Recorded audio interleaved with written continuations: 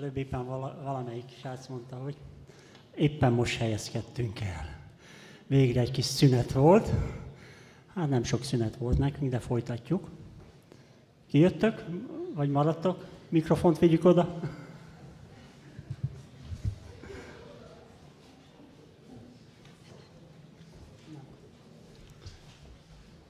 Szeretettel köszöntöm ezt a ma esti gyülekezetet is. Hát most már egy kicsit többen vagyunk, mint az előző alkalmat, ahogy kezdtük.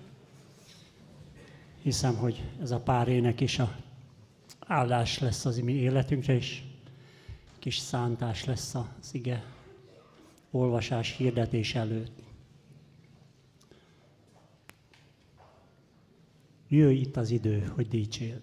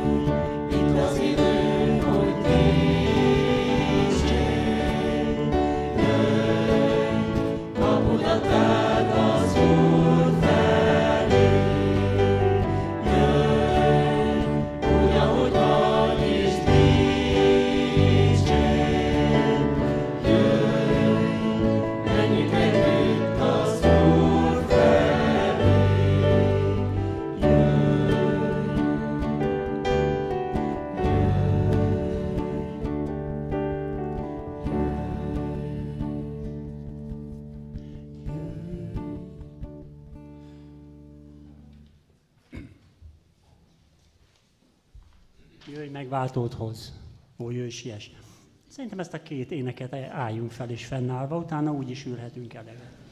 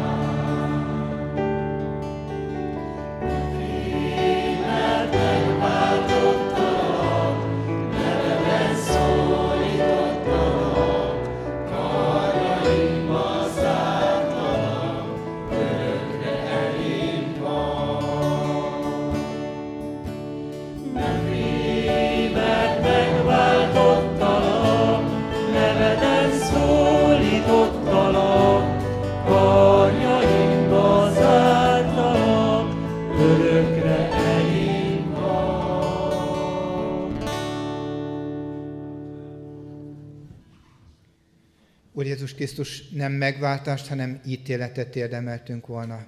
Köszönjük, hogy eljöttél, közben jártál, vállaltad helyettünk a csapásokat.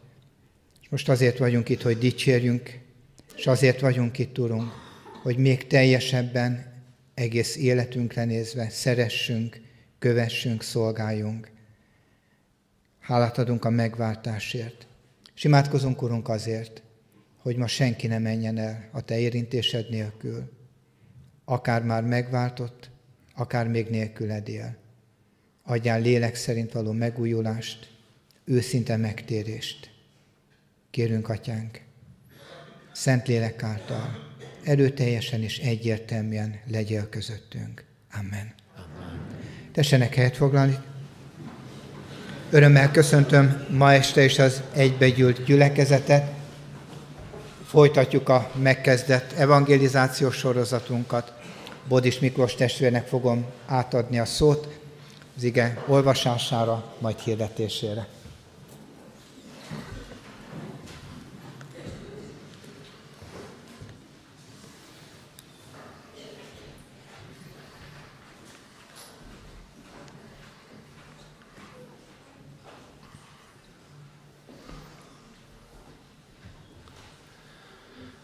Jézus Krisztus mondja nékünk, bétőtt az idő, és egészen közel van már az Isten országa.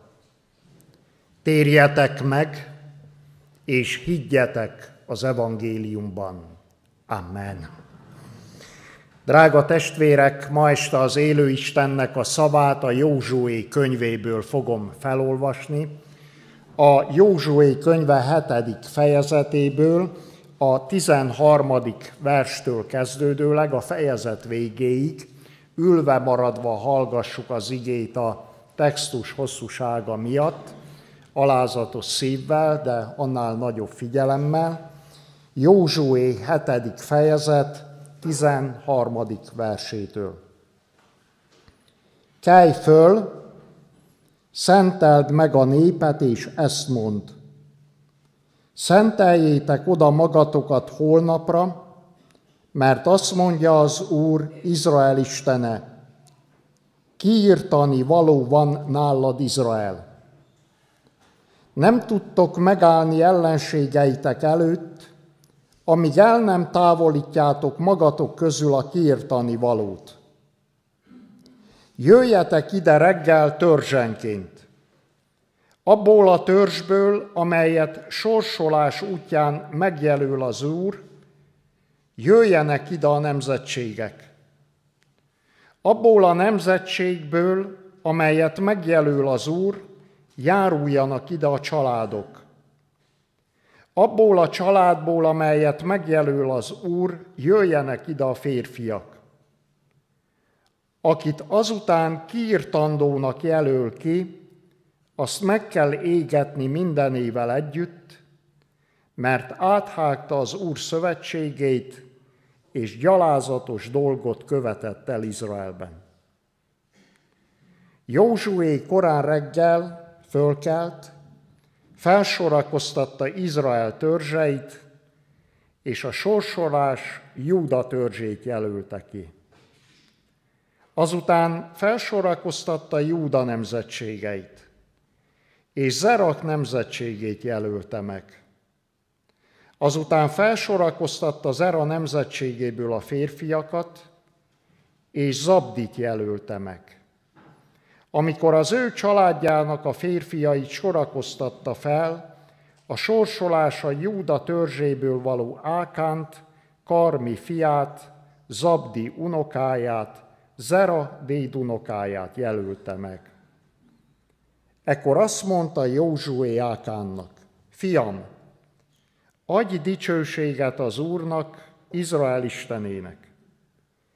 Tégy bűnvallást előtte, és mondd el nekem, hogy mit tettél, ne titkoljál semmit előle.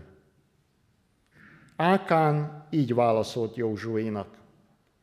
Bizony védkeztem az Úr, Izrael istene ellen, mert ezt meg ezt tettem. Megláttam a zsákmány között egy szép sinári köntöst. Kétszáz sekel ezüstöt és ötven sekel súlyú aranyrúdat. Megkívántam ezeket, és elvettem. Ott vannak elásva a földbe, a sátorba, és az ezüst is alattuk van. Ekkor Józsué követeket küldött, ezek elfutottak a táborba, és ugyanúgy volt elásva minden a sátorba, és az ezüst is alatta volt. Kihozták a sátorból, odavitték Józsuéhoz és Izrael fiaihoz, és oda tették az úr színe elé. Józsué pedig fogta Ákánt, Zerofiát, az ezüstöt, a köntöst, az aranyrúdat, fiait és leányait, ökreit, szamarait és juhait, sátrát és mindenét. Vele volt egész Izrael, és elvitték őket az Ákor völgyébe. Akkor ezt mondta Józsué, szerencsétlenséget hoztál ránk. Fordítsa az Úr ezt a szerencsétlenséget most rád. És megkövezte őket egész Izrael, majd elégették őket. Így kövezték meg őket. Azután nagy kőhalmot raktak föléje, amely a mai napig megvan. Ekor megszűnt az Úr ízó haragja, ezért nevezik azt a helyet Ákor völgyének mind a mai napig. Ezért nevezik azt a helyet Ákor völgyének mind a mai napig. Amen. Drága testvérek, tudjátok, hogy ma este miért vagytok itt? Tudod, hogy ma este miért vagy itt? És ma este miért te vagy itt? Elmondom neked. Azért vagy itt ma este, mert Isten nem akarja azt, hogy az életed az Ákor völgyébe érjen véget. Higgyétek el, hogy arra, amire az evangélium, a Biblia azt mondja, hogy az ott van ma is, megvan ez ma is, és így van ez ma is, az ma is ugyanúgy van. És testvérek, ma is Izraelhez tartozó emberek élete véget érhet az Ákor völgyébe. Ez testvérek nem Ammon fiaival történt, nehogy azt higgyétek. Ez nem Moab fiaival történt, nehogy azt higgyétek, ez nem Amálek fiaival történt. Isten nem Moábtól kérdezi a Kármelen illés által, hogy meddig sántikáltok kétfele, mert testvérek, ezek a népek nem sántikálnak, hanem ezek le vannak paralizálva. A halott, a halott, aki halott a bűneibe, abba, a, ott beállott a paralízis. Az nem tud sántítani. Tudjátok, ki tud sántítani? Aki már jár. Nem a megtértek, meg nem tértek sántítanak, hanem a hívők sántítanak. A megtértek, azok feküsznek meghalva. És testvérek, nézzétek meg, hogy ez az eset a Júda törzsébe történik, Izrael belsejébe történik, és Izrael egész népén rajta van a csapás. Izrael egész népén rajta van az ítélet. Kiért? Ákánért. Ákánért. Testvérek, az Isten azért hozott ide ma este téged, mert nem akarja azt, hogy az életed képmutatóan valamit elásva, valamit elrejtve, valamit dugosgatva az Ákor völgyébe érjen véget. Az este az evangelizáció után Albert testvérem említette, hogy Izraelben a pusztulás soha nem kívülről jött. Amikor Izrael a gyülekezet belül egészséges volt, akkor szembe tudott szállni bármilyen támadással. Meg tudott nyerni bármilyen csatát. El tudta foglalni az Izrael földjét. De most az honfoglalás előtt a Moab mezején, amiről az este szó volt, azt hiszem, hogy ma is valahol ott van egy gödör kiásva, amin régen volt egy sátor, és a sátorba, a gödörbe elásva néhány marék ezüst, egy aranyrúd és egy sineári köntös, ami miatt Izrael nem tudott bemenni az ígéret földjére, ami miatt elveszített csatákat, és ami egy egész családnak az életébe került. Egyszer a lányaim megkérdezték tőlem, apuka, mi egy dolgot nem értünk ebbe az egész titanikos mesébe, ami történt a titanikkal. Hát senkinek nem volt esze, hogy a hajóval, a titanikkal odahúzzon a jéghegy mellé, és az emberek rámászanak a jéghegyre. És rágondoltam, hogy micsoda jó kérdés. Hát ha a hajó süllyedt, miért nem másztak fel a jéghegyre, és várták ott ki a hajnalt? És elkezdtem kutatni, és megértettem, testvérek. Tudjátok, hogy egy jéghegynek hány százaléka van a vizen kívül? Nem úgy kicsi, nagyon kicsi. 10 százalék se. A többi 90 százalék az a víz alatt van. A Titanikot nem az sülyeztette el, ami a víz fölött volt. Attól fennmaradt volna. Ha a víz felett ütközik a jéghegyel a hajó, akkor nem folyt volna be a víz. A Titanikot az sülyeztette el, ami nem látszott. Ami a víz alatt volt. Az ember életét soha nem az sülyezti el, ami látszik, hanem az ember életét az sülyezti el, amiről Petőfi egyik versébe azt írja, hogy a titkos féreg fogarák amiről az evangélium azt mondja, hogy az ember szívének a mélyén ott suttog a bűn, ott rág, ott emészt. Testvérek, amikor fiatalok jönnek hozzám, hogy házasságot szeretnének kötni, akkor én mindig megkérdezem tőlük, hogy és tudjátok, hogy hányan kötnek házasságot egy esküvőn rám néznek csodálkozva. Miklós tiszteltes, hogy, hogy hányan kötnek házasságot? Hát ketten kötnek házasságot. Mondom, látjátok, ezért vannak a vállások. Mert ketten kötnek házasságot. Drága testvérek, az evangélium beszél a szív rejtett emberéről. Minden embernek van egy külső embere, és van egy belső embere. És a problémák a házasságban abban vannak, amikor egy fiatal pár csak a külső embert ismerte meg egymásba. A belsőt nem. És testvérek, vannak nagyon rossz házasságok, akik 50 évet így élnek le, hogy a feleség soha nem tudja azt, hogy a férjének mi áll az eszébe, mi van az eszébe, mit szedett le az internetről, és a férj pedig egész életében nem tudja, hogy mit szeretne a felesége, mit, ten, mit tenné boldoggá.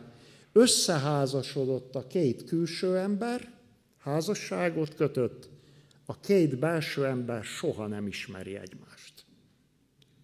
Kedves fiatalok, az a jó házasság, ahol négyen házasodnak össze. A két külső ember és a két belső ember. És ma este az Isten ezen az evangelizáción nem azt az embert akarja megszólítani, akit én most itt látok magam előtt, aki szépen fel van öltözve, eljött az imaházba, és ha odaállok az ajtóhoz kimenetelkor, és kezet szorítunk egymással, és megkérdezem tőled, hogy hogy vagy, rám mosolyogsz, és azt mondod, hogy köszönöm szépen, jól vagyok, de senki nem tudja, hogy mi van benned. Senki nem tudja azt, hogy milyen a házasságot.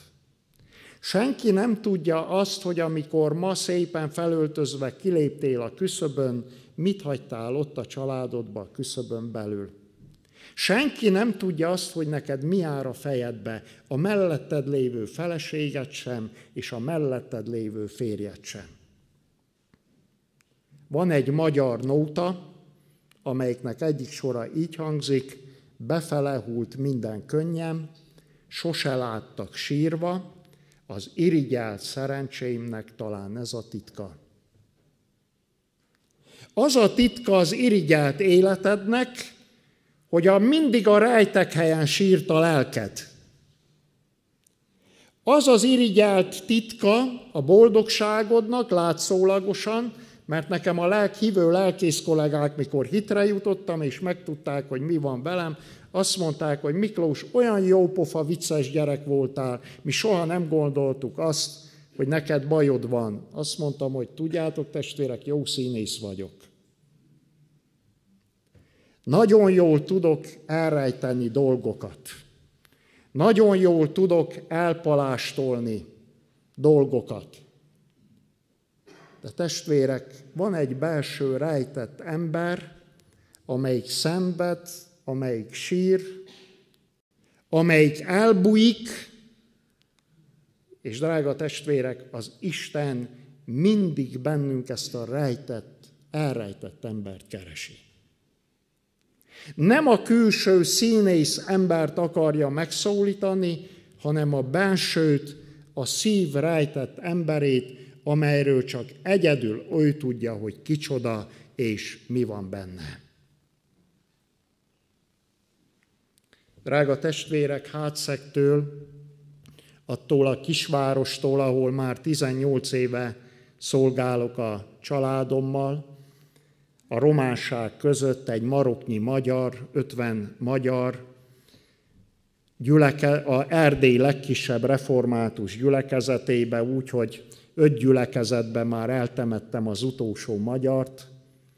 Még van három gyülekezetem, ahol két magyar van, ők is már 80 éven fölül, és ebben a városi gyülekezetben 43 magyar, akik már rég túl vannak a 70 éven, 80-on, tehát ha még 10 évig itt szolgálok, akkor eltemetem Dél-Erdélybe az utolsó magyart is. És itt ezen a vidéken szolgálok, többnyire a románok között Isten elhívott, hogy a románok evangélistája legyek, és esténként több száz, több ezer baptista, pünkösdi, adventista, református, katolikus ember előtt hirdetem az evangéliumot, és az az örömöm, hogy érbeledés van a román vidéken, esténként tucatjával térnek meg és adják át az életüket emberek, és jönnek ki a sötétségből. A testvéreim, látom a zördögnek a munkáját, a másik oldalát a napos mezőnek, és ez abban nyilvánul meg, hogy hátszektől pár kilométerre van egy elmegyógyászati intézet.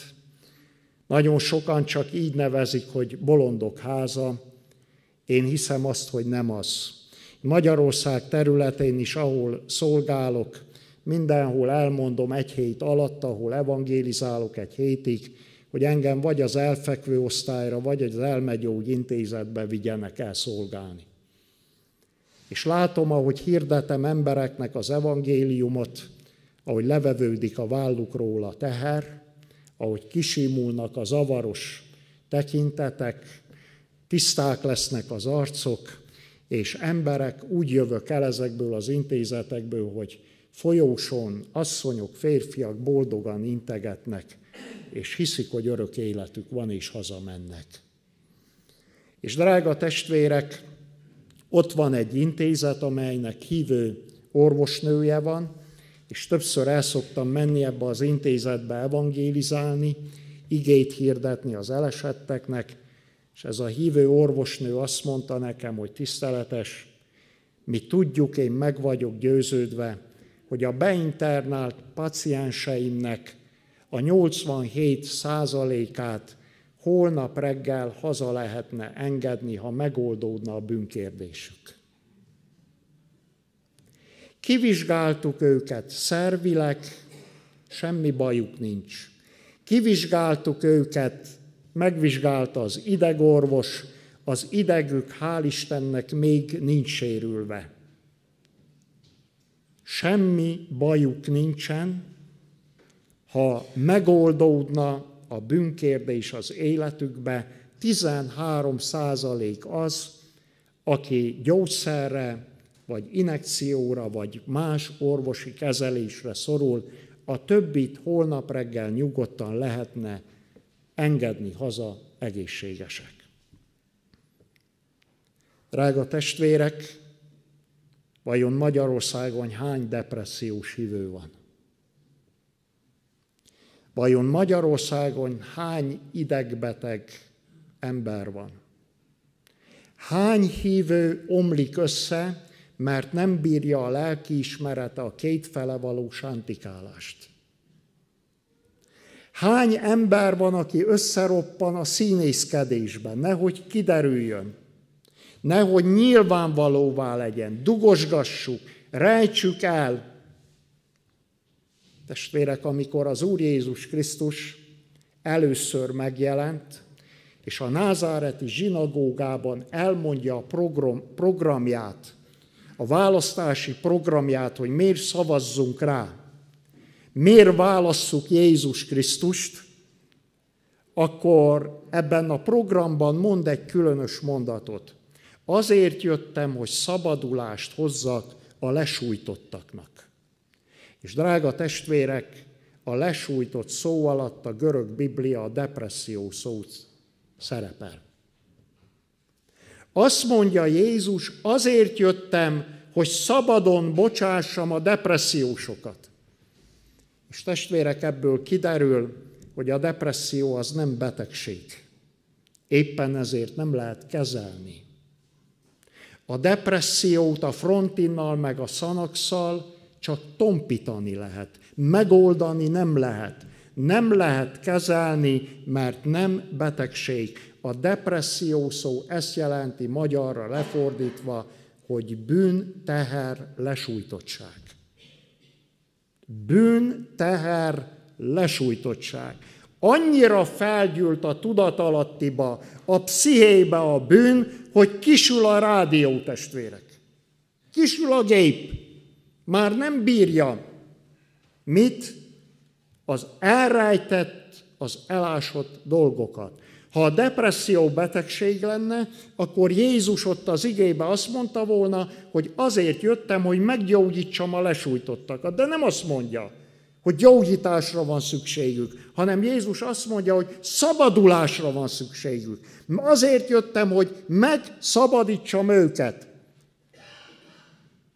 Testvérek, a depresszióból szabadulni lehet. Miből?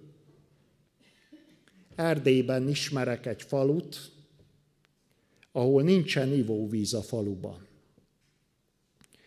És mivel nincs ivóvíz, ezért sem a tyúkok, sem a disznók, sem a tehenek nem tudnak ivóvizet inni, ezért az emberek a házuk mellé építettek, ez egy tiszta magyar falu Erdélyben, sósa víz, és az emberek a házuk mellé építettek nagy tartályokat, betonból kiöntötték, belengedik az esővizet, és a tyúkok, malacok, tehenek abból isznak, Egyetlen egy kút van a falu végén, amely iható kút, de hát minden családban évente 2500 liter bor terem a szőlőbe, nincs piac, következő évben jön a következő 2500 liter, meg kell ülíteni a hordókat, és ezért az emberek nagyon keveset mennek a kútra.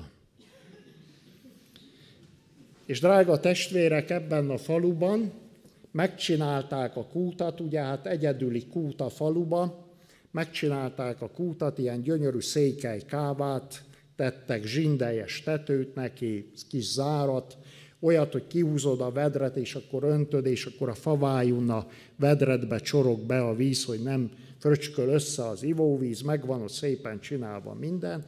Igen ám csak, hogy egyszer a kútnak a káváját valaki a vízhúzás után nyitva hagyta. És a kútba berepült egy varjú.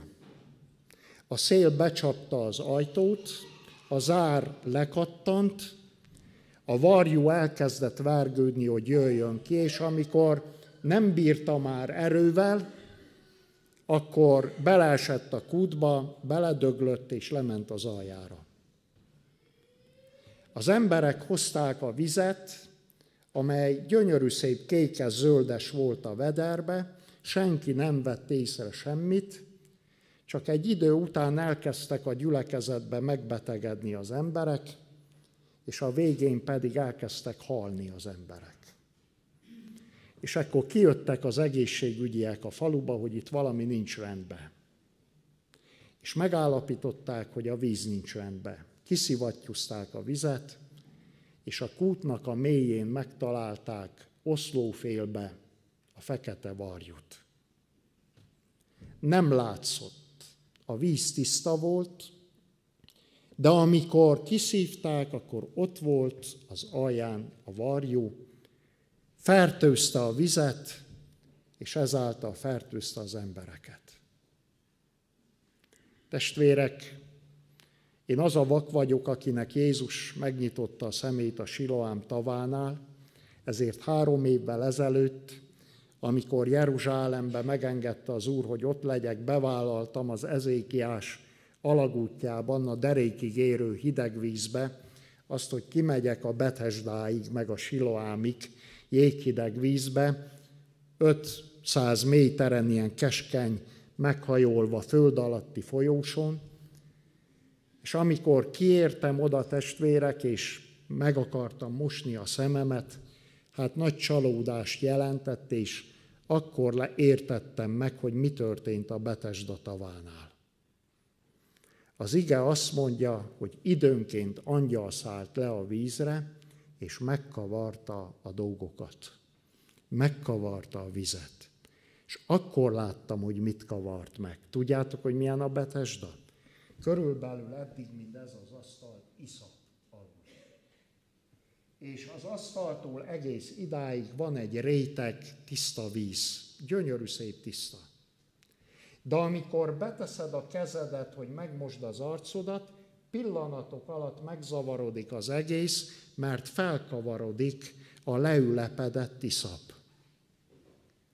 És itt értettem meg, hogy mi történik. Az ember lelkébe, szívébe van belül alul egy lerakodott iszapréteg, a bűn lerakodva. És van egy ennyi tiszta víz, amit nagyon szeret mutatni a gyülekezetbe, a világ felé. De az ige azt mondja, hogy időnként jön egy-egy angelos, egy-egy küldött, és megkavarja a vizet. És összekavarodik a tiszta víz az iszappal, a mocsokkal, a szennyel, és ezt nem szeretik az alvóhívők, mert ilyenkor derül ki, hogy én ki vagyok. Ilyenkor derül ki az életemről az, hogy mi van megbújva a szívemnek a mélyén, mit rejtegetek, és drága testvérek, nem értjük azt, hogy miért nem térnek meg körülöttünk emberek, miért nincs ébredés, miért nem tudjuk elfogadni, elfoglalni Debrecent, a Kánoán földjét, miért nem tudunk bemenni, miért nem, miért nem jönnek emberek a gyülekezetbe. Testvéreim, egy dologért, azért, mert Isten látja. Ezért az egyért. Isten látja, hogy addig, amíg kiirtandó dolog van nálad, addig nem lehet bemenni az ígéret földjére. Isten látja azt, hogy az odaszentelt dologból, a neki odaszentelt dologból kiirtandó dolog lett.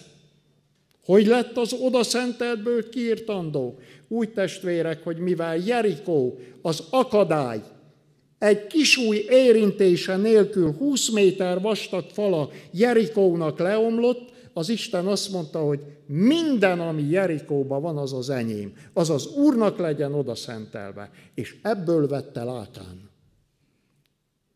És így lett az odaszenteltből kiirtandó. Így lett az odaszenteltből elásott, elrejtett, eldugott dolog, és drága testvérek, ami kiirtandó dolog van nálad, ami már rég oda kellett volna legyen szentelve az Úrnak, addig nincs győzelem. Addig nincsen honfoglalás, nincs bemenetel az ígéret földjére. Józsué, állítsd elé a gyülekezetet, mondd meg, hogy szenteljék oda magukat az Úrnak, mert kiirtandó dolog van nálad, Izrael, és nem tudsz győzni addig ellenségeiddel szembe, amíg ez a kiirtandó dolog ott van benned. Amíg ez a kiirtandó dolog ott van benned. És drága testvérek, az ige, nézzétek meg, azt mondja sokszor az Úr, hogy ez az, amit mondtam nektek, hogy a közzel, hozzám közel állókon mutatom meg, hogy én szent vagyok. Testvérek, az Isten nem a Máleken, meg nem Moábon, meg nem Ammonon mutatja meg, hogy szent, hanem Izraelen mutatja meg, hogy szent. Nyilván, hogy van egy ilyen ige, ugye ismeritek, amikor azt mondja, hogy az ítélet először az Isten háza népén kezdődik el. Az ítélet először az Isten háza népén kezdődik el, de örül ennek a világ, az istentelen, mert azt mondja, hogy nézzétek csak, milyen rosszul megy a hívőnek. Mennyi baj van az életében, mennyi próba van az életében. Miért testvérek? Mert elkezdődött az Isten ítélete rajtunk. Csak hogy folytatja az ige, és azt mondja, hogy de mi lesz a vége azoknak, akik nem hisznek. Mi lesz a vége azoknak, akik majd az utolsó napon ítéltetnek el? Megtérés esélye nélkül, kegyelem lehetősége nélkül. Azt mondja az Isten ott, ahol Ezékiel tízbe kiküldi a hat angyalt, hogy ítélje meg Jeruzsálemet és az ő népét. Kiküldi őket, és azt mondja az Isten, az én szentélyemnél kezdjétek el. Az én szentélyemnél kezdjétek el, de azoknak, akiknek a homlokán meglátjátok a jelet, a bárány jelét, a bárány vérét, az ige azt mondja, azt Egyiptomba kihagyom. Oda a halál angyala nem megy be. Testvérek, az ítélet rajtunk kezdődik el azért, hogy megtisztuljunk. Azért, hogy elváljon az aranytól a salak,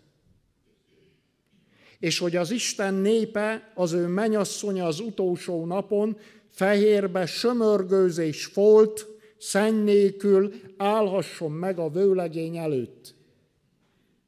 Esztert hat hónapig készítették szépítőszerekkel, amíg megállhatott a király előtt. Az Isten testvérek bennünket készít, de mi lesz a vége azoknak, akik nem hisznek? Testvérek, mi van belül az életedbe elásva? Tudsz aludni? Pihenni tudsz? Békességed van? Tiszta lelki ismereted? Nyugalmad, csended Jézus Krisztusban van? A családodban, a gyermekeiddel mi van és az unokáiddal? Mert nézzétek csak meg, testvérek, az ige nem véletlenül sorolja. Felolvastam ezt, hogy azt mondja, hogy a sorsolás a Júda törzséből való Ákánt, Karmi fiát, Zabdi unokáját, Zera déd unokáját jelölte ki. Testvérek, vegyük nagyon komolyan, hogy a bűn nem szűnik meg, a bűnünk nem szűnik meg a halálunkkal. A bűnünk nem szűnik meg a halálunkkal. A bűnért fizetni kell.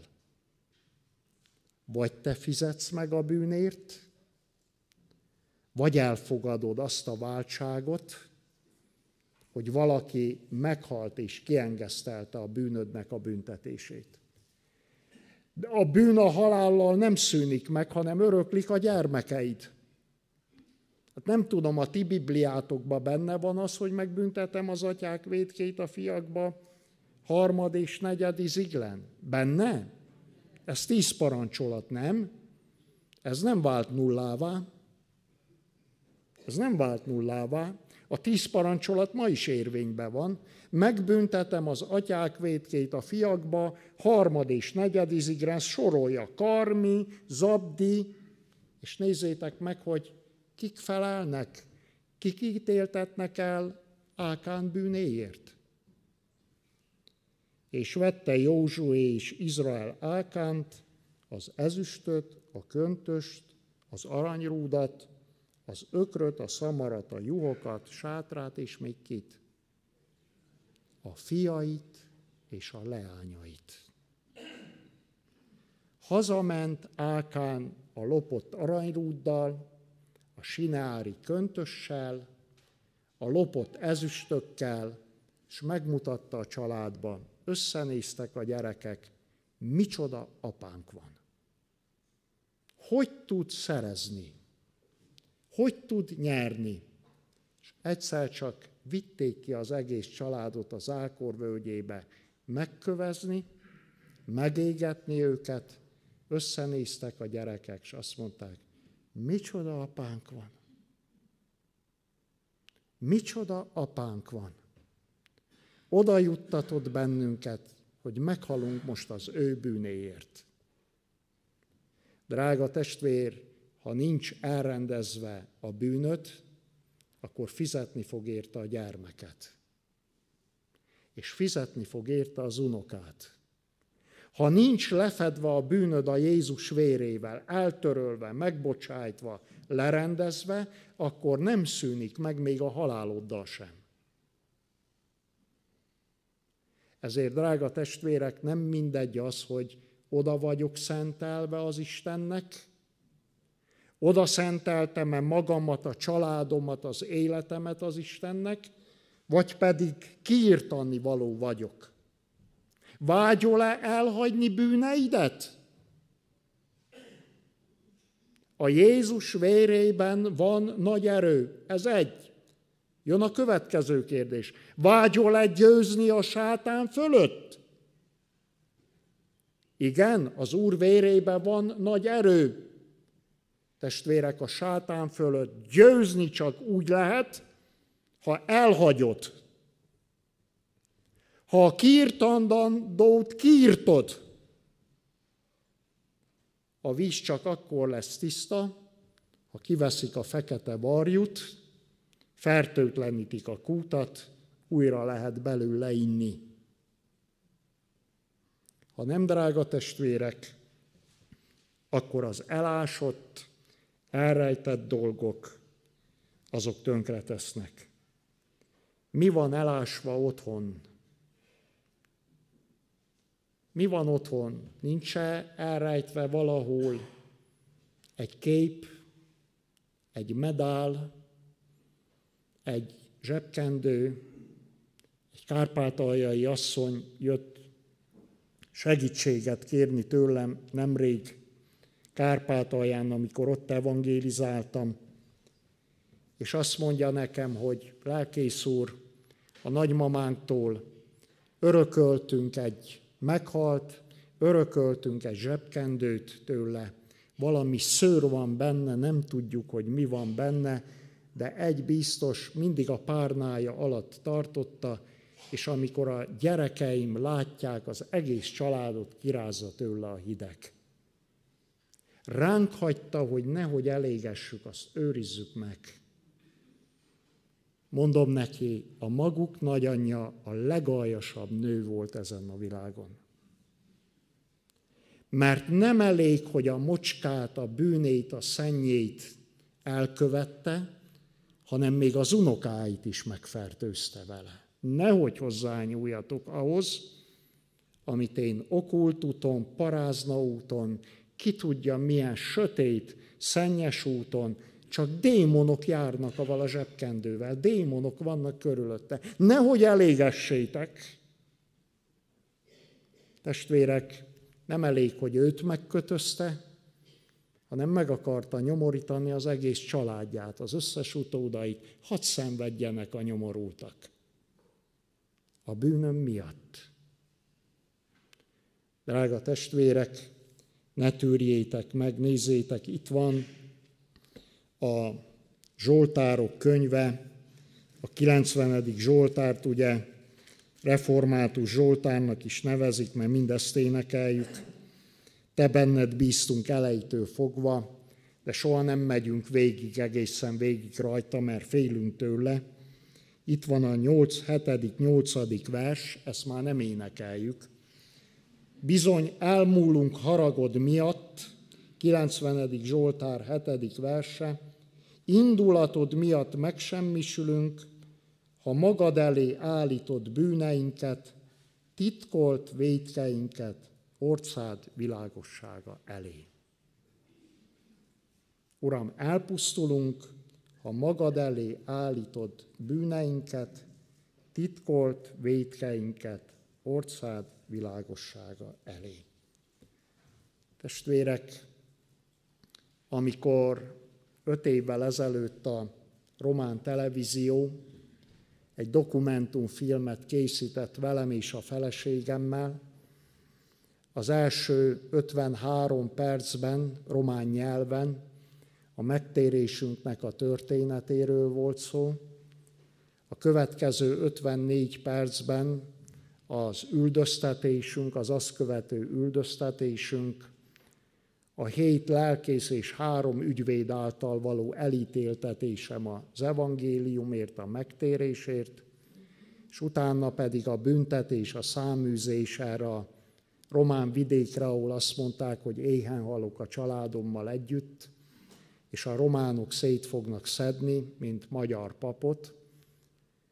És amikor eljutottam oda, hogy elmondtam a dokumentumfilmbe azt, hogy én már a színész életem miatt nem tudtam őszintén a feleségemnek a szemébe nézni, akit hat év tiszta udvarlás, lelkiismeret után vettem feleségül, mint tiszta asszonyt, és szívből szerettem és szeretem, és elmondtam azt, hogy már egyszerűen nem tudtam a feleségem szemébe nézni, mert egy voltam belül, és egészen más voltam kívül.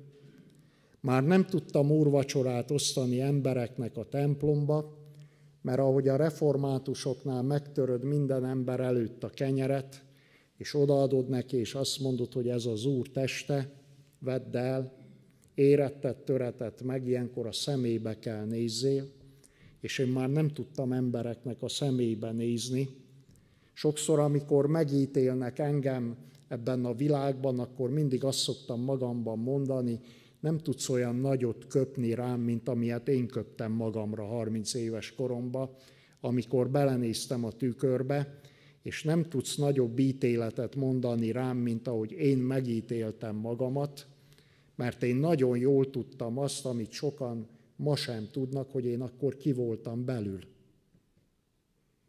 És milyenek voltak a gondolataim, milyenek voltak a szívemnek a szándékai, milyen volt az, amikor utána mentem a szememnek, a testemnek. Testvérek, úgy nem tud engem megítélni ez a világ, ahogy megítéltem én akkor magam, mert tudtam, hogy ki vagyok belül. És nekem pont ez a belső, éppen ez a belső szenny az életembe hozta meg azt a pillanatot, amikor eldöntöttem, hogy így nem érdemes és nem is tudok élni. Ennek véget kell vetni minél hamarabb, és akkor döntöttem el azt, hogy öngyilkos leszek. És a műsorvezető akkor megdöbbenve rám nézett, és azt kérdezte, hogy lelkész úr, de arra nem gondolt, hogyha öngyilkos lesz a pokolba jut? És adtam neki egy borzasztó választ. Jakab testvér azon az estén a pokol is jobbnak nézett ki. Mint ez az élet színészkedve, megvalósulva fent, irigyelve, de Jézus Krisztus nélkül.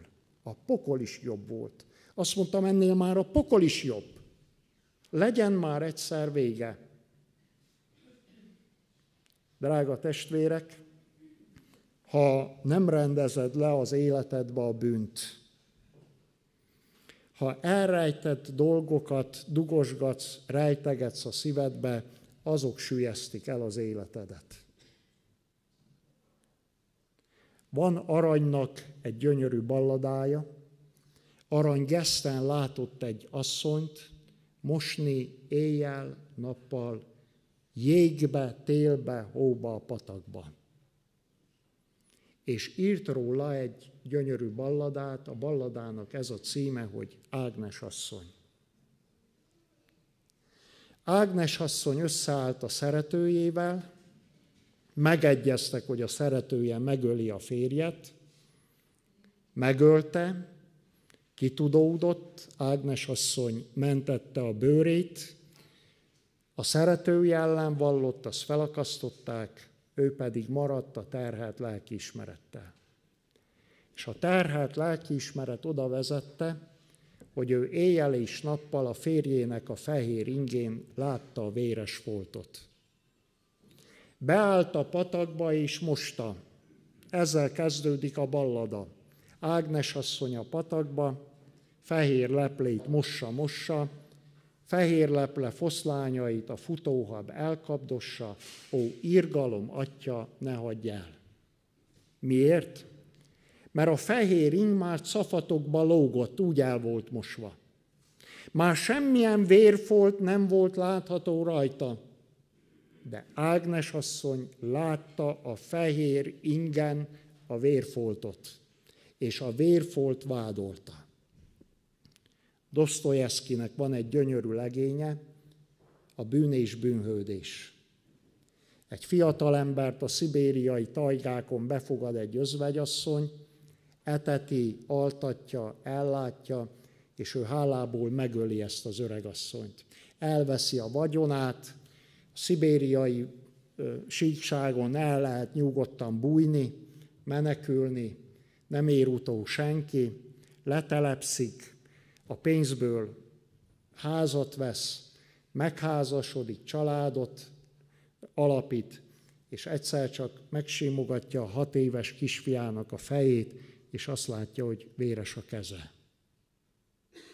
Senki nem látja a vért, de ő igen. És azért bűnhés bűnhődés, mert elmegy és feladja magát. Nem veszitek észre, hogy Magyarországon 15 éve lezárt ügyekben jelenkezik a gyilkos, feladja magát, hogy én voltam. Az miért? Miért, testvérek?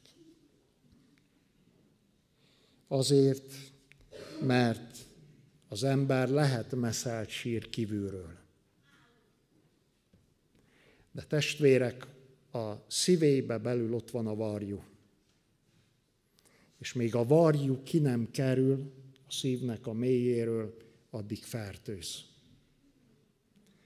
Van testvérek egy bibliai történet, ahol egy király, amikor a királyok háborúba szoktak menni, ő nem megy el, és már ez is sokat mondó, hogy este kell fel az ágyból. Elkezd sétálni a palota tetején, és meglát a palota tetején fürödni egy szép asszonyt. Megkívánja, utána érdeklődik, és az Isten lelke jelzi, hogy Dávid ne nyúj hozzá, ez másé. Ez az egyik legjobb katonát, felesége, ne érintsd meg. Dávid túllépi a korlátot. meglépi a határt, megtapotja az Isten lelkét, magához hivatja az asszonyt, vele alszik, az asszony terhes lesz, jelenti Dávidnak, el kell rejteni a bűnt. Dávid hazahivatja a férjet a frontról, leitatja, és hazaküldi, de az a szerencsétlen annyira tiszta, meg annyira szereti a királyát, hogy még félrészegen is, leitatva lefekszik az ajtaja elé, és ott alszik a folyósón, őrzi a királyát. Dávid rájön, hogy ez nem fog menni. Ír egy levelet a frontra, és szinte látom azt, hogy lenyálazatlanul, leragasztatlanul küldi a férjel, Uriással ki, mert tudja, ez nem fogja kivenni a borítékból, hogy elolvassa. Küldhetem, le se kell ragassza.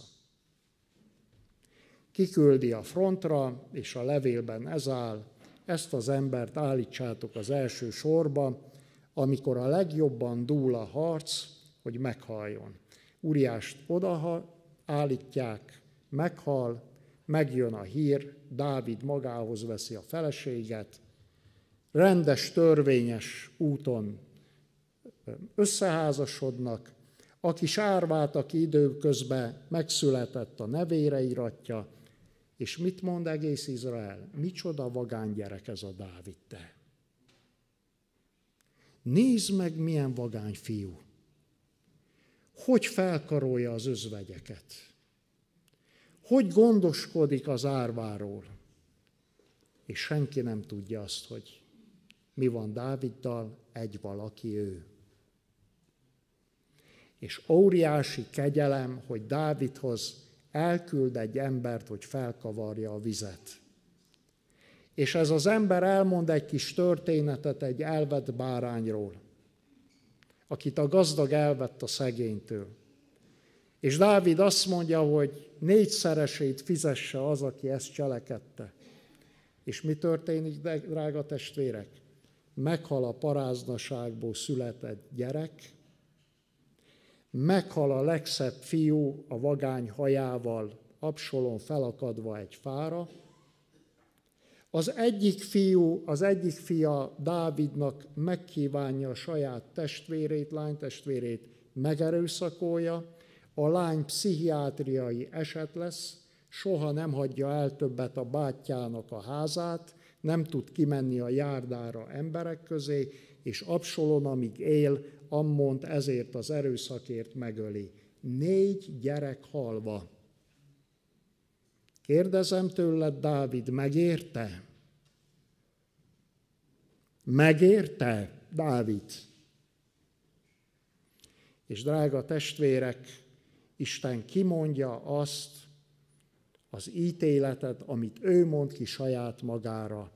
Halálnak fia az az ember, és négyszeresét fizesse meg az elvett bárányért. És a megtéréséért azt mondja, hogy Dávid, nem halsz meg. Tudjátok, mi van beírva nekem ehhez a történethez a Bibliámba? Uram, áldallak téged, hogy te jobban szerettél engem, mint Dávidot. Hogy nem kellett meghalljon Dávid, és nem kellett nem kellettek meghalljanak a gyermekeim, mert meghalt értük valaki a kereszten. Uram, köszönöm, és áldallak téged, hogy te jobban szerettél engem, a bűnös Bódis Miklóst, mint ahogy szeretted Dávidot. Nem kellett megfizessek a bűneimért. Tudjátok, hogy miért? Mert valaki megfizetett érte. De drága testvérek, ezért meg kellett állni előtte, hogy ne, hogy ne végződjön az életem az Ákor völgyébe, ne szálljon fel az ítéletnek a füstje, és meg kellett vallanom előtte a bűneimet, és kegyelmet kellett kérnem. Ma este ezt megteheted. Jézust meghívta egyszer egy baptista ember a házába vacsorára. És Jézus bement, és ott vacsorázott, és egyszer csak bejött hozzá egy bűnös nő, És oda térdelt Jézus lábához, és elkezdte mosni a könnyével a lábát, megtörölni a gyönyörű hajával, és megszólalt Simonba a hang, ha tudná ez, ha ez lenne tényleg a próféta, akkor tudná, hogy kicsoda ez az asszony itt mi. És megszólalt Jézus, azt mondja, Simon, van valami mondani valóm. Mondd, mester. Simon, én tudom, hogy ki ez az asszony. Én tudom, hogy ki ez az asszony, de bejöttem a házadba, de nem csókoltál meg engem. Nézd, a lábaimat csókolja. A lábamhoz vizet nem adtál, nézd, az ő könnyeivel öntözi. Tudod miért, Simon? Mert akinek sok bocsátatott meg, az jobban szeret. Egyszer testvérek, 42 hívő lelkész közösségébe voltam, és az ige ez volt, Miklós, jobban szeretsz engem ezeknél. És az Isten, ahogy szólott az ige, végigmutatott a 42 lelkészen, ezeknél összevéve, mint ezek 42-en, jobban szeretsz? És azt mondtam magamba, miért kell én jobban szeresselek téged, Uram, mint ők együttvéve 42-en? És Isten azt mondta, mert neked többet bocsájtottam meg, mint nekük 42-jüknek. És akinek sok bocsáttatik meg, az jobban szeret. Tudod, hogy Jézusból miért jött ki vér és víz? János ott volt és látta. Mert víz már abból jön, akinek az utolsó csepp vére is kifolyt. Már nincs mi kifolyjon. Tudod, hogy miért? Írja lesz János, hogy te bizonyos légy afelől, hogy minden bűneidet, az utolsót is megbocsájtotta és eltörölte. Simon, én tudom, hogy ki ez az asszony, aki ma este itt ül a padba. És tudom, hogy ki ez a férfi. Nagyon jól tudom, belelátok, ismerem benne a szív rejtett emberét. De testvérek, van egy megoldás, és ezt a megoldás ott található a 32. Zsoltár első verseibe. Mit mond Dávid ez a bűne után? Amíg hallgattam, addig megavultak bennem a csontjaim. Napestig jajgattam. Nem volt békességem, de amikor megvallottam előtted bűneimet, akkor te megbocsájtottad, Uram, azokat, Szela. Szela. Egyszerre csend lett Dávidba. Egyszerre békesség lett, felkelt, megmosta az arcát, evett, és le tudta tenni az Úrnak a kezébe ezt a bűnt. Drága testvér, mi van elásva a szívedbe belül? Mi marja az életedet? Miért nincsen győzelem az életedbe? Azért kérdezem ezt, mert ma is szó volt a jelenések könyvéről, az utolsó időkről, és nézzétek meg, hogy hogy jelenik meg a nagy parázna, mert már itt van a világban. Mindent, autót, mosóport, sprayt mesztelen nővel, levetkőzött nővel lehet eladni, csak nem. Erről szólnak a reklámok, testvérek. Az evangélium azt írja, hogy a, az Antikrisztus úgy jelenik meg, hogy a hátán ott ül a nagy parázna, mesztelenre levetkőzve, a kezébe van egy serlek, a serlekbe bor van, azt mondja az evangélium, hogy a megölt szenteknek a vére, akiket nem tudott átverni, akiket nem tudott megejteni, azokat megölte. És a vére ott van a kehelybe, és a parázna nőnek, a mesztelen nőnek az egész szája, arca maszatos a vértől, mert meg van vadulva, meg van részegedve a megölt szenteknek a vérétől. És testvérek, azt írja az ige, hogy a homlokán ott van egy szó felírva, mintha szentség lenne. Érdekes, hogy az új fordítású Biblia már nem írja be a szót. Csak azt mondja, hogy ott van, mint egy szentség a homlokán. Tudjátok, hogy a Károli Biblia mit ír? A nagy parázna homlokán ott van egy szó ráírva, mintha egy szentség volna, és ez a szentség így hangzik, hogy titok. Evel fogja meg és teszi tönkre a nagy parázna azokat, akik hallgatnak rá. Titok. És a titok titoknak kell maradjon, mert ha nem, szégyennel jár. Testvérek, amikor én megtértem, hazamentem a gyülekezetbe, épp úrvacsoraosztás volt, és bejelentettem a gyülekezetnek, hogy addig nem fogok úrvacsorát venni, ott volt 325 ember, tanulja ennek, amíg én bűnvallást nem teszek az úrasztala előtt a bűneimről, a gyülekezet előtt, hogy miattam gyaláztatott pap miatt a Krisztus neve az egyházba. Erre testvérek a templomba olyan csend lett, hogy még a légy is leszálló pályán szállott a templomba, és egy valaki a hátsó sorból valahonnan felsóhajtott, ó Istenem! Mint nagy kiáltás hangzott bele a csendbe, pedig egy csendes sóhaj volt. Ó Istenem! Kiállottam az úrasztal elé, testvérek, megvallottam a bűnömet, és ebbe a pillanatban tudjátok, hogy mit éreztem? Láttatok Tom és Jerry filmeket még a tévébe? Na, amikor a macskát a varázsló megüti, és úgy összemegy, hogy kisebb lesz, mint az egér.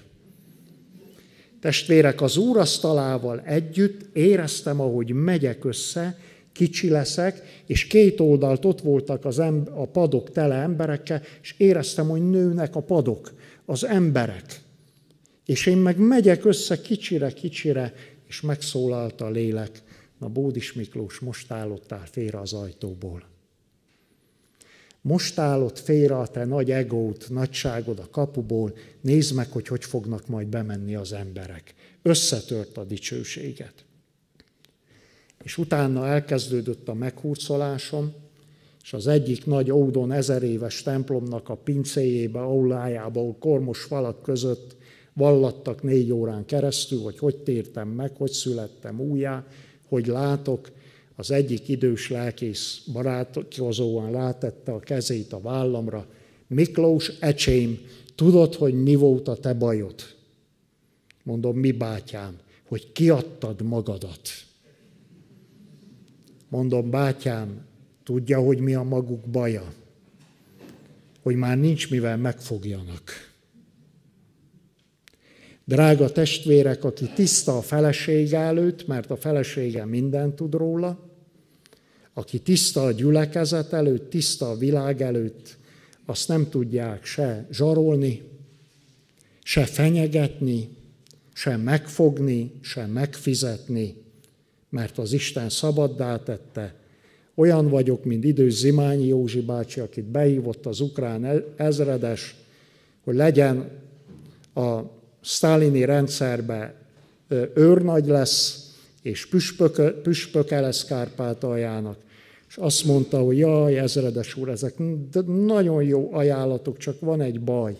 Mi a baj van? Hát az, hogy én már a kislábújamtól a hajszálamig eladtam magamat valakinek, és kétszer nem tudom magam eladni. Kinek adta el magát? Jézus Krisztusnak. És drága testvérek, aki tényleg oda van szentelve az Úrnak, az már nem tudja eladni magát. És drága fiatalok, nem tudjátok ti, hogy mit csinál az Úr egy olyan lányjal, 18 évesen, egy 21 éves fiúval, aki teljesen oda szenteli magát az Úrnak. Nem látott még Magyarország olyat. Nézzétek Traucs Lizát 17 évesen. Miért? Mert oda szentelte magát az Úrnak. Nem a világ kellett neki. Nem a két fele való sántikálás kellett neki. Mitől fél az ember? Ha a titok kiderül, akkor jön a szégyen. Akkor jön a szégyen. Drága testvérek, van egy jó hírem.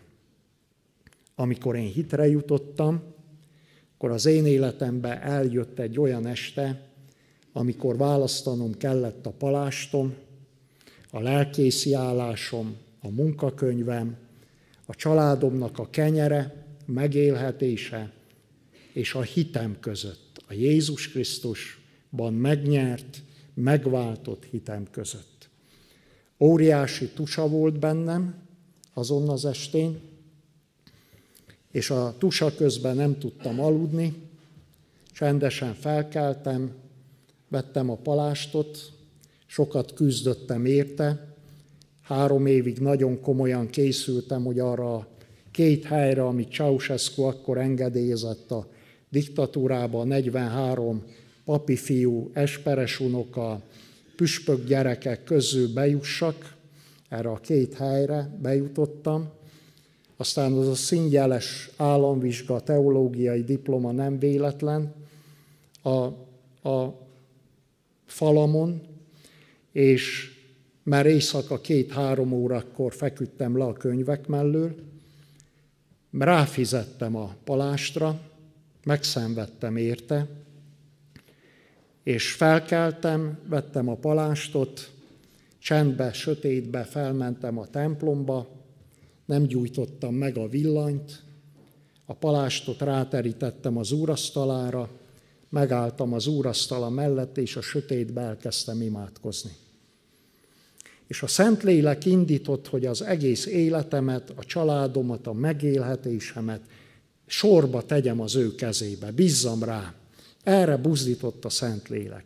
És ahogy e, ezeket imádkoztam, egyszer elkezdtem látni dolgokat. Nem látomásom volt, ez itt dől el. Tehát a megtérésem estején is láttam, ahogy átszúrtam Jézust a dárdával. Nem látomás volt, mert ha ez megtörténik ott a gyülekezetben, akkor feláll a 70 ember, és azt mondja, hogy látjátok, de senki nem állott fel, ezt én láttam.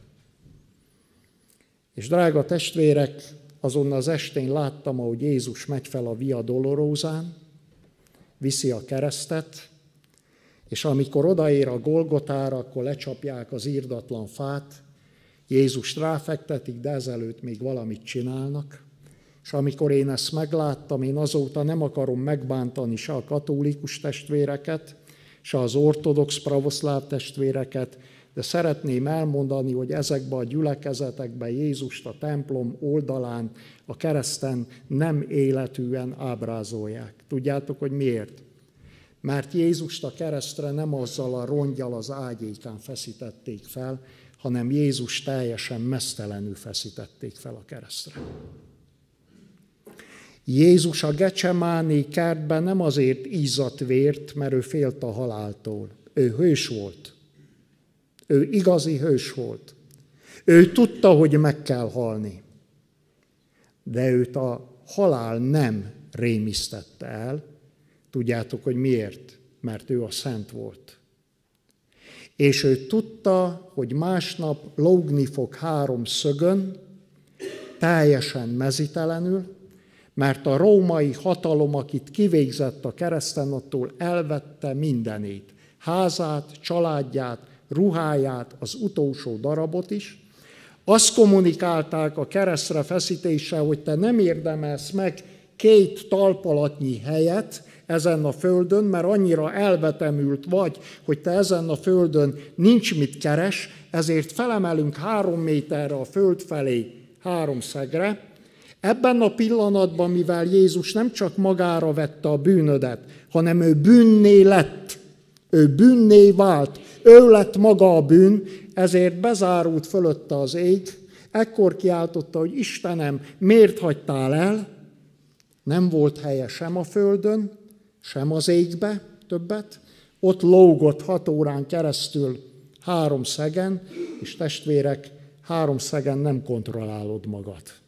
Ott jön belőled a vizelet, ott jön belőled a széklet, ott ki vannak facsarva a csontjaid, és ő tudta a szent, hogy gyalázatra, szégyenre ott fogok függni, és néznek rám emberek, és bámészkodnak, és a szemérmemet nem, nem takarja semmi, mert magamra vettem azt a gyalázatot, amikor a paradicsomba két ember fügefa levéllel akarta eltakarni a szégyenét, bujócskát játszott a fák között az Istennel. Hol vagy ember? És Pálhegyi Feri bácsi mondta testvérek, hogy a fügefa levél az olyan, mint a királynak a ruhája, hogy van is, meg nincs is. Takar is, meg nem is takar. Mit testvérek?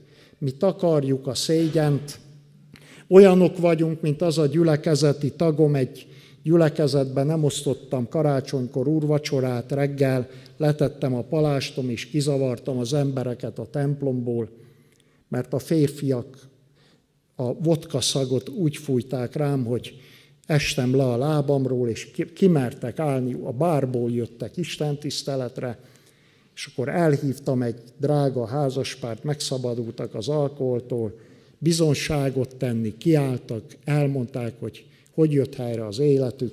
Jönnek ki az én jó madaraim, és hallom, hogy az egyik a hátam mögött mondja a másiknak, te, ha engem ide állítottak volna a templom oldalához, a kőhöz, és rám tartottak volna gépfegyvert, hogy lelőjenek, én akkor sem mondtam volna el, hogy milyen részeges vagyok. Megszólal a másik, azt mondja, te nem is kell elmond, az egész környék tudja rólad, hogy milyen részeges vagy. Drága testvérek, bújunk az új mellé, rejtegetjük a szégyent a fügefa levéllel, miközben már mindenki látja rajtad.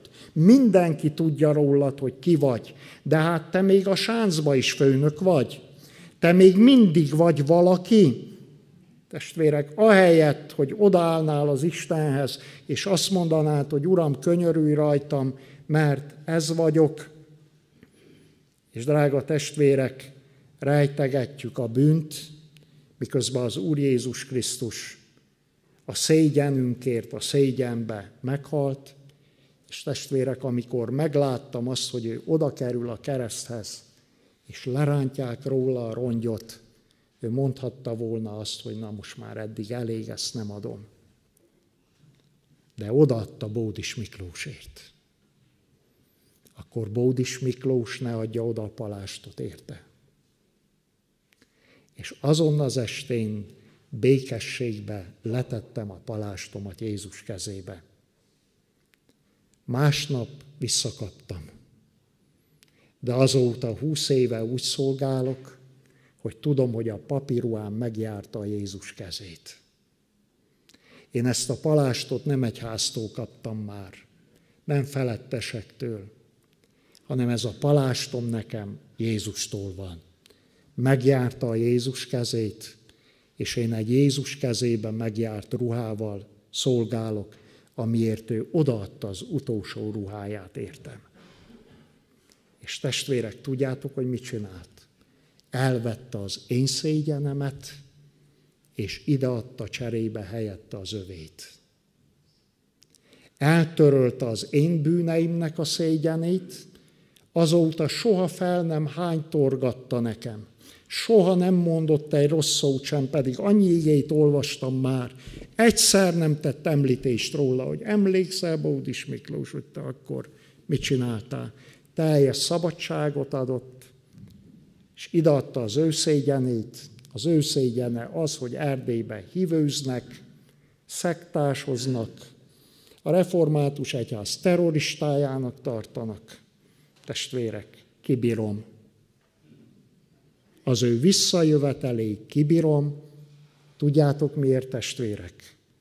Mert az érette hordozott szégyent ezen a földön egyszer kicserélhetjük majd koronára. Azt a szégyent, amit itt érte felválasz ebben a világban, egyszer lecserélheted dicsőséges koronára. Felvállalod-e érte a szégyent a világ előtt? Mert kérdem én, mi kell szégyeljük őt? Mi kell szégyeljük az Istent? Vagy az Istennek kellene szégyelnie minket? És a zsidókhoz írt levél azt mondja, ő nem szégyel titeket testvéreinek nevezni. Hallod? Annak ellenére, hogy Simon, tudom, hogy ki ez az asszony, és tudom, hogy ki ez a férfi, és tudja, hogy ki vagy. Az evangélium azt mondja, ő nem szégyel téged a testvérének nevezni, és a testvérének hívni, akkor te szégyelled őt a világ előtt. Te szégyelled őt a világ előtt. Drága testvérek, olyan szép ez az ige, ha a mi szívünk vádol is, tudjátok meg, fiacskáim, hogy az Isten mindent tud, és nagyobb, mint a mi szívünk.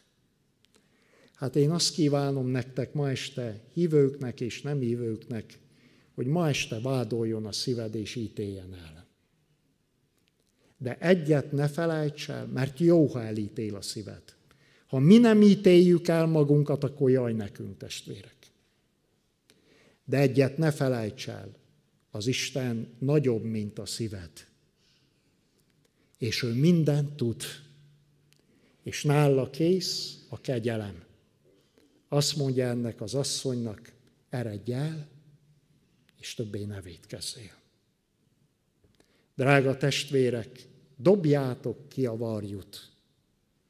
Ne tűrd meg magadba a bűnt.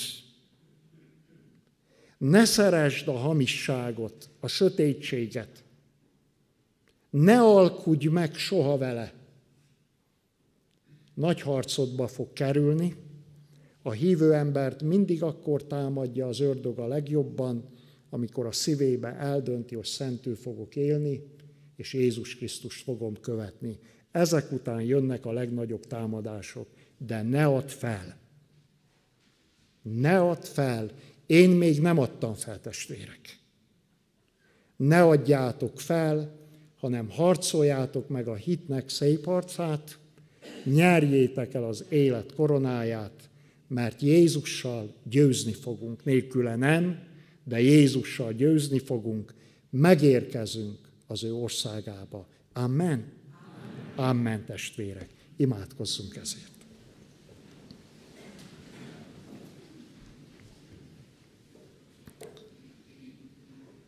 Drága Úrunk, hálás a mi szívünk azért, hogy ebben az úttalanságban út lettél a mi számunkra a sötétségben, amiben járunk, és amiben egyre inkább belesüllyed ez a világ, világosság lettél a mi számunkra.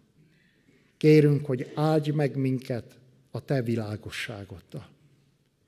És köszönjük neked, hogy ajtó lettél a mi számunkra. Hogy a kereszten kinyilott számunkra az Atya országába a visszavezető út Uram, sokszor szükségünk van arra, hogy megvilágosítsd még jobban, megerősíts ezen az úton minket, és kérünk, hogy ma este is fog meg a mi kezünket, mert gyengék vagyunk, elesettek, és vigy mind közelebb és közelebb, oda, hol a mennek a sátora van.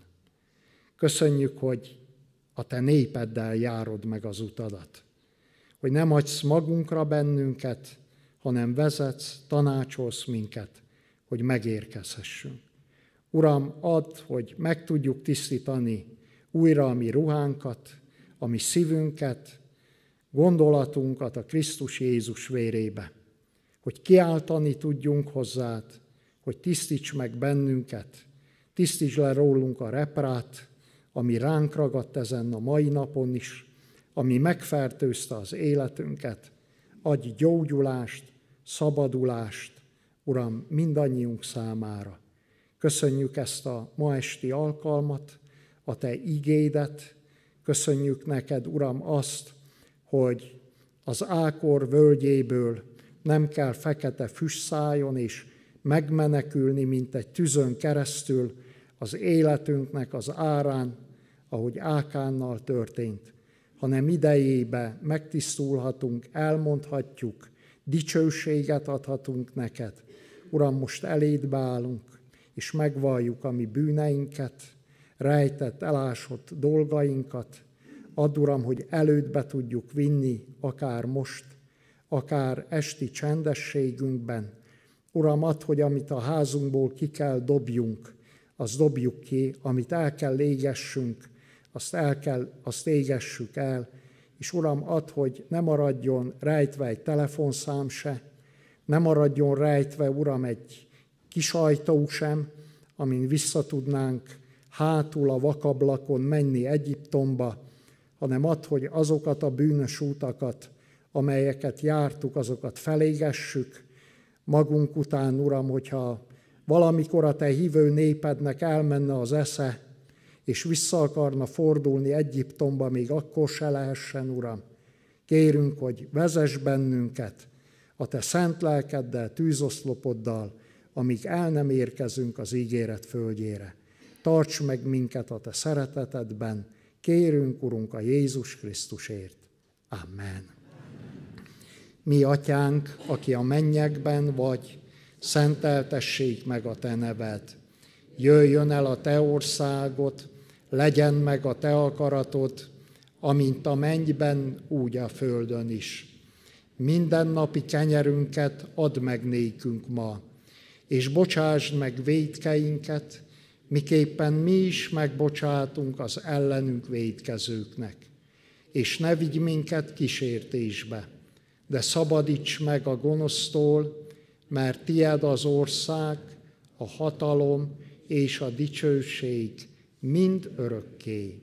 Amen. Bizonságul hívom ma este ellened az eget és a földet, hogy én ma este az életet és a halált adtam néked elődbe, az áldást és az átkot. Válasszátok az életet. Válaszd az életet, hogy élhess mind te, mind a te utódaid, mind örökké. Amen. Foglaljunk helyet, drága testvérek.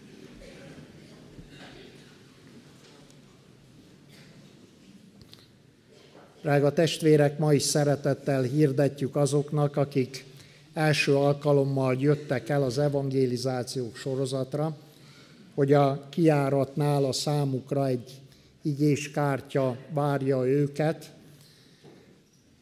Szeretnénk, hogyha elfogadnák és elolvasnák, és engednék, hogy Isten ez az ig által is végezze az ő újjáteremtő munkáját, legyünk érthetőek, akik már az elmúlt estéken kaptak kártyát, azok ne kérjék, mert a sorozatra egy kártya jár, amin ugye én egyik ok ez volt, hogy ezért zártam le a Facebookot, többek között, mert naponta bejött 80 igen, nyuszival, virággal, madárral, tojással, mindennel. Én úgy tartom a testvérek, hogy egy napra elég egy ige, de az menjen mélyre. Tehát a 80 ige van, és az felületes, és semmi nem marad meg belőle, akkor az annyit is ér. Legyen egy ige egy nap, de az az ige szántson mélyen, az maradjon meg a szívedbe, hogy majd egyszer elő tud venni, és lehet, hogy ezt az igét is, amit ma este kapsz, egyszer majd elődbe fog jönni, a Szentlélek elődbe adja, vagy eszedbe fog jutni, akkor, amikor szükséged van rá. Engedd, hogy Isten ezt, ez az ige által munkálkodjon a szívedbe, tehát azok, akik ma este először vannak itt az evangelizáción, a kiáratnál, a testvéreknek szóljanak, hogy kérek igét, és fogadják el, és olvassák el, akik pedig kaptak, azok ne akarják kicserélni. Mint a Székelyföldön egy polgármester, jött másnap kízadva, csorgott a víz róla, lelkész úr, nem lehetne másat húzni, kicserélni, mert fú, a nagyon, és azóta ez a polgármester hitbe jár, dicsőíti az Istent, jó ige volt, neki szóló ige volt. Úgyhogy fogadjuk el ezt az igét, testvérek. Hirdetem azoknak a gyerekeknek, akik ma este vannak itt másodszor az evangelizáción, hogy ők is e, szóljanak a kiáratnál, mert megajándékozom őket egy gyönyörű képes Bibliával, és azok a gyerekek pedig, akik ma először vannak, őket várjuk holnap, délelőtt is és délután is az Isten tiszteletre, aki 15 év alatti és két alkalommal részt vesz az evangelizáción, azt megajándékozzuk ezzel a könyvvel. és drága testvérek, szeretném hirdetni, bár már kevés, láttam, hogy kevés könyv van, hogy két könyv található, előkerült a doboz aljáról, a Hogyan legyek gazdag könyv mellett egy ilyen kis könyv is, ugyancsak 800 forint az ára, hogy reformáció a Zsoltárokban, tehát, hogy a Zsoltárokban hol van szó megújulásról, megtérésről, a Zsoltárok könyvébe, vagy nyolc darab van belőle, szeretettel ajánlom figyelmükbe, akár lelkipásztoroknak, akik itt vannak, hogy október havába szolgálhatnak belőle a gyülekezetbe, hogy nekik is épülésükre szolgáljon ez, és még van egy pár könyv, a Hogyan legyek gazdag, Hogyan lehetek gazdag című könyvből, és a két CD-ből is a szolgálatommal, az egyiken egy szolgálat van rajta, a Szelán, azon csak egy szolgálat van, a másik, amelyik olcsóbb, azon négy szolgálat van, és azáltal is lehet a megszentelődésnek, az elcsendesedésnek az útján haladni, aki szeretne épülni olvasás és igehallgatás által, azoknak szeretettel ajánlom a figyelmébe. Szeretném kérni a zenész testvéreket, hogy válaszoljunk egy énekkel az elhangzott ígére. Ez még most nem záró ének lesz. János első levelében azt olvassuk, ha megvalljuk bűneinket, hű és igaz, megbocsát és megtisztít. Nagy felütéssel kezdődik ez az ige, kin múlik, egyedül rajtad, ha. Szóljon az ének, és készítse a szívünket a mi Úrunkhoz.